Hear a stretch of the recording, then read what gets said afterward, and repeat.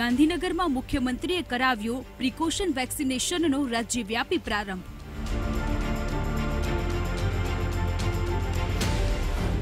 અમદાવાદની સોલા સિવિલથી આરોગ્ય મંત્રી ઋષિકેશ પટેલ રહ્યા ઉપસ્થિત.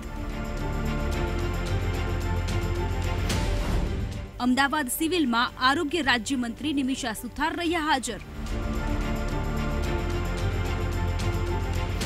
રાજ્યભરમાં કોરોનાના વધતા સંક્રમણ વચ્ચે હેલ્થ વર્કર્સ, ફ્રન્ટલાઇન વર્કર્સ તથા સાહીઠથી વધુ વયના કોમોર્બિડ સિનિયર સિટીઝનોને વેક્સિનનો બૂસ્ટર ડોઝ આપવાની શરૂઆત કરાઈ છે. રાજ્યમાં નવ લાખ જેટલા લોકોને પ્રથમ દિવસે ત્રણ હજાર પાંચસો રસીકરણ કેન્દ્ર પરથી રસી અપાઈ હતી. આ વેક્સિનેશનની કામગીરી માટે આરોગ્ય વિભાગના સત્તર હજારથી વધુ કર્મચારીઓ જોડાયા હતા. તો વેક્સિન લેવા માટે વૃદ્ધોમાં એક ઉત્સાહ જોવા મળ્યો હતો. કોવિડ પ્રોટોકોલના પાલન સાથે રાજ્યભરના આરોગ્ય કેન્દ્રો, સિવિલ હોસ્પિટલ અને કોર્પોરેશનના હેલ્થ કેર સેન્ટર પર વેક્સિન લેવા મોટી સંખ્યામાં લોકો ઉમટ્યા હતા. તો આરોગ્યના કર્મચારીઓને જે તે ફરજના સ્થળે જ વેક્સિન આપવામાં આવી હતી. રાજ્યના આરોગ્ય મંત્રી ઋષિકેશ પટેલ અને આરોગ્ય રાજ્યમંત્રી નિમિષા સુથારે વેક્સિનેશન પ્રક્રિયા અંગે જાણકારી આપી હતી. રસીકરણના કારણે કદાચ આ ત્રીજી લહેરમાં પણ સંક્રમિત થનાર દર્દીઓમાં ખૂબ ઓછા પ્રમાણમાં લક્ષણો અને ઘરે જ હોમ આઇસોલેશનમાં સાજા થઈ જાય એ રીતની પરિસ્થિતિનું ગુજરાતમાં નિર્માણ થયું છે. કેસોની સંખ્યા ચોક્કસ વધી રહી છે. પરંતુ હોસ્પિટલાઇઝેશન અને જેમાં ક્રિટિકલ કેરની જરૂર પડે, એવા દર્દીઓ બાયપેપ ઉપર હોય વેન્ટિલેટર ઉપર હોય, એવા ખૂબ ઓછા દર્દીઓ આજે હોસ્પિટલમાં એડમિશન એડમિટેડ છે. તંત્રની બિલકુલ તૈયારી છે. એના ભાગરૂપે જ વેક્સિનેશન અત્યારે ચાલી રહ્યું છે. હરઘર દસ્તક કાર્યક્રમ ચાલી રહ્યો છે. અને બધાને એટલી જ અપીલ કરું છું કે બધા જ માસ્ક પહેરીને બહાર સોશિયલ ડિસ્ટન્સ રાખો. જે એસઓપી બનાવ્યું છે સરકારશ્રીએ અને કેન્દ્ર સરકાર દ્વારા પણ માર્ગદર્શન જે આપ્યું છે એ પ્રમાણે આપણે ફોલો કરીએ, સોશિયલ ડિસ્ટન્સ રાખીએ અને માસ્ક પહેરીને જ બહાર નીકળીએ. તો એના કારણે આપણે સારી રીતે બચી શકશું સંક્રમણથી અને સારી રીતે બધાને બચાવી પણ શકશું.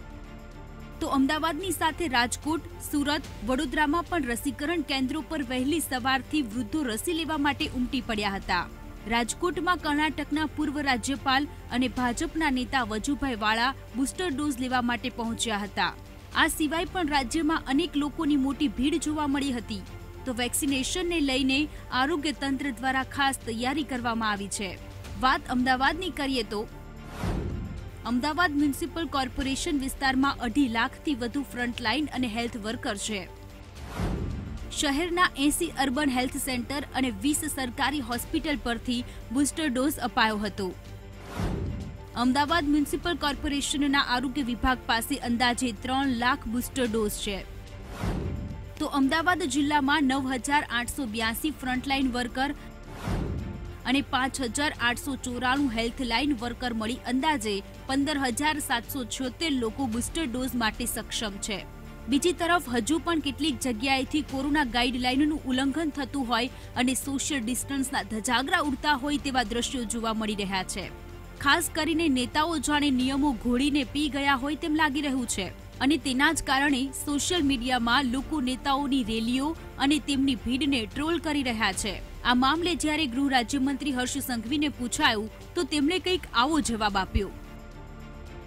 કે કોઈક વાર અગર કોઈક નેતાથી ભૂલ થઈ, તો એનું ઉદાહરણ આપીને તમે તમારું જીવન રિસ્કમાં ના મૂકતા, તમે તમારા પરિવારનું જીવન રિસ્કમાં ના મૂકો આ બાબતે. કોઈકની ભૂલ થઈ છે, તમે એની ટીકા જરૂરથી કરો. પરંતુ એને માસ્ક નથી પહેર્યો, હું બી માસ્ક નહીં પહેરીશ. આ વિચારો જોડે આપણે આપણું જીવન રિસ્કમાં ના નાખવું જોઈએ એવી હું રાજ્યના સૌ નાગરિકોને બે હાથ જોડીને વિનંતી કરું છું. અમે સૌ લોકો માટે એક સરખો જ નિયમ છે અને એક સરખો જ નિયમ પાલન કરાવવા માટે પ્રયત્નશીલ રહેશો. એ તો સનાતન સત્ય છે કે વેક્સિન જ એક એવું હથિયાર છે જેનાથી તમે કોરોના સામે લડી શકો છો. આજે કોરોનાની ત્રીજી લહેરનો પ્રારંભ થઈ ગયો છે. કેસ સતત વધી રહ્યા છે, પરંતુ હોસ્પિટલમાં દાખલ થવાનો રેશિયો ઘણો ઓછો છે. તે રસીને જ આભારી છે.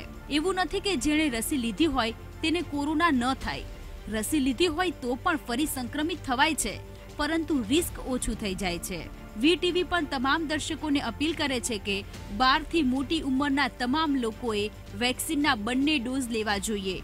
અને જેઓ કોરોના વોરિયર્સ છે જેઓ સાહીઠથી મોટી ઉંમરના છે, તેમણે તો વેક્સિનનો ત્રીજો ડોઝ પણ લઈ લેવો જોઈએ, જે આરોગ્ય માટે હિતકારી છે. Bureau report VTV news.